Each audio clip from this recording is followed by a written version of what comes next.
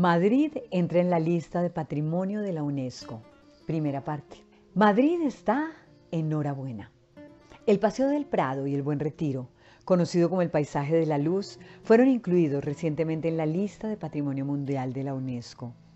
Se trata del primer bien de la ciudad de Madrid, inscrito en el prestigioso listado, pero eso no es todo, ya que el Paseo del Prado, primer ejemplo de la historia de una alameda urbana desde el siglo XVI, que se extiende desde la glorieta de Carlos V hasta la Plaza de Cibeles, es también el primer espacio verde urbano que obtiene este título en todo el mundo. En este espacio se encuentran instituciones tan prestigiosas y emblemáticas de la capital como el Museo del Prado, el Museo Nacional Thyssen-Bornemisza, el Caixa Forum Madrid o el Real Jardín Botánico. Pero ¿de dónde viene el nombre de este paseo que ya es un referente a nivel mundial? El 9 de mayo de 1502, la reina Isabel la Católica concedió a los monjes jerónimos de Santa María del Paso un nuevo asentamiento más cercano a la corte. Ese lugar sería conocido desde entonces como el Prado de San Jerónimo. Este nuevo espacio reemplazó al lugar insalubre que 40 años atrás les había concedido el rey Enrique IV de Trastámara a orillas del río Manzanares, cerca de los Montes del Pardo.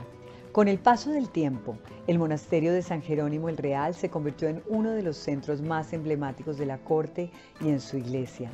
Se celebraron de manera ininterrumpida las solemnes ceremonias de juras de los herederos de la corona de España como príncipes de Asturias, desde la de Felipe II en 1528 hasta la de Isabel II en 1833.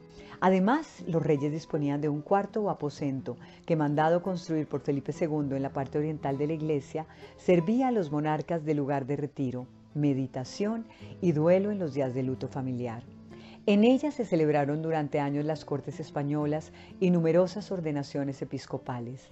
Pero en 1808 la iglesia sufriría como consecuencia de los enfrentamientos durante la Guerra de la Independencia.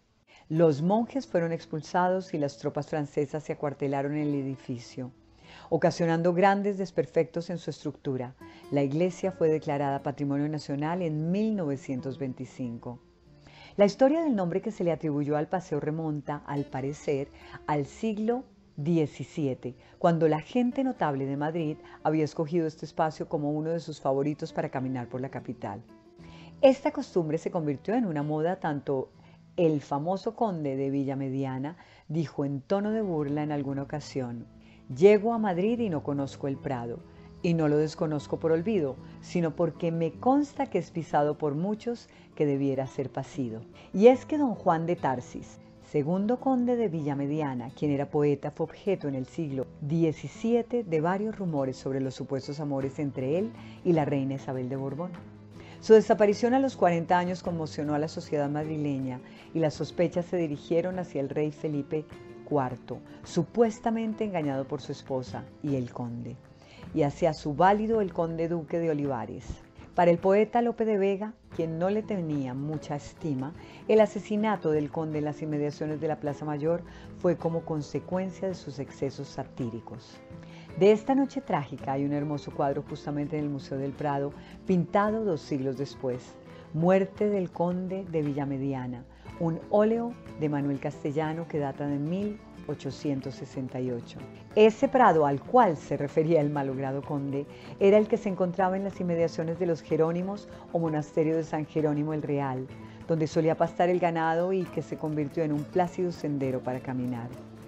Esta nueva distinción en Madrid se une a las ya inscritas en la lista de patrimonio, como el Monasterio del Escorial, la Universidad y el Casco Histórico de Alcalá de Henares, el Paisaje Cultural de Aranjuez y el Alledo de Montejo. En nuestro próximo episodio hablaremos sobre el Parque del Retiro.